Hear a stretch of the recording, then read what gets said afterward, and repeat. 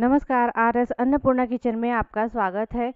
आज बहुत ही tasty, soft और जालेदार हम मक्के के आटे से इडली बनाएँगे। तो चलिए बनाते हैं। हमने एक बड़ा चम्मच तेल गर्म कर लिया है। उसमें डालेंगे एक छोटा चम्मच राई, एक चम्मच चने की दाल और एक चम्मच सफ़ेद धुली उड़द की दाल और दो पिंच हींग। इन सबको हम एक दो सेकंड के लिए पका लेंगे।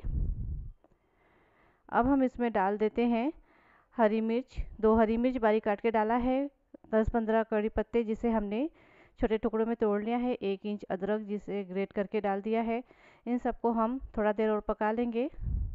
दाल का रंग चेंज हो गया है, अब हम इसमें डाल देंगे डेढ़ कप मक्के का आटा। गैस का फ्लेम हम लो रखेंगे और लो फ्लेम पे हम मक्के के आटे को दो से तीन मिनट के लिए भून लेंगे ताकि इसका कच्चापन चला जाए। तो दो से तीन मिनट तक हम इसे कम आँच पे भून कर इस अलग बर्तन में निकाल लेते हैं और इसमें डालेंगे एक कप दही। दही को अच्छी तरह फेंट के डालना है। और इसमें हम थोड़ा थोड़ा पानी डालते हुए इसका एक गाढ़ा घोल बना लेंगे। बिना लम्स पड़े हमें इसका एक गाढ़ा घोल बना लेना है।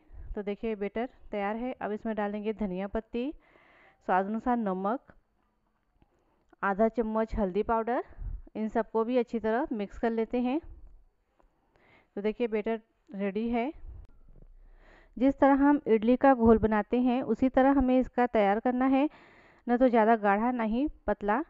इस तरह तक हमारा बेटर तैयार होना चाहिए। अब हम इसे पाँच से सात मिनट के लिए ढक के रख देते हैं।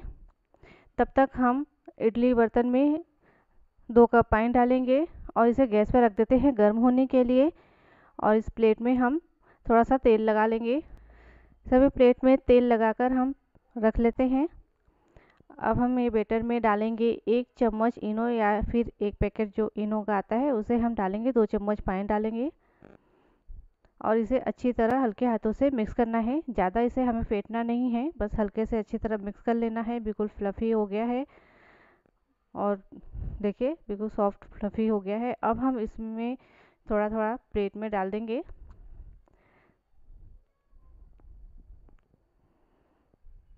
बहुत ही टेस्टी इडली बनके तैयार होती है। आप ज़रूर ट्राई करें। इधर पानी अच्छी तरह गर्म हो चुका है तो हम एक एक प्लेट इसमें लगा देते हैं और 15 मिनट के लिए हम मीडियम फ्लेम पे इसे पका लेंगे। 15 मिनट के बाद देखिए इडली हमारी बनके तैयार है। इसे हम ठंडा होने देंगे। ठंडा होने के बाद ही हम इसे निकालेंगे। गर्म में इडली अगर निकालेंगे तो इडली हमारी टूट जाती है, इसलिए बिल्कुल इडली को अच्छे से ठंडा हो जाने दें।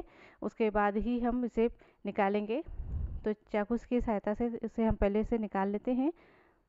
बहुत ही आसानी से निकल जाता है। बहुत ही टेस्टी इडली बनके तैयार हुई है।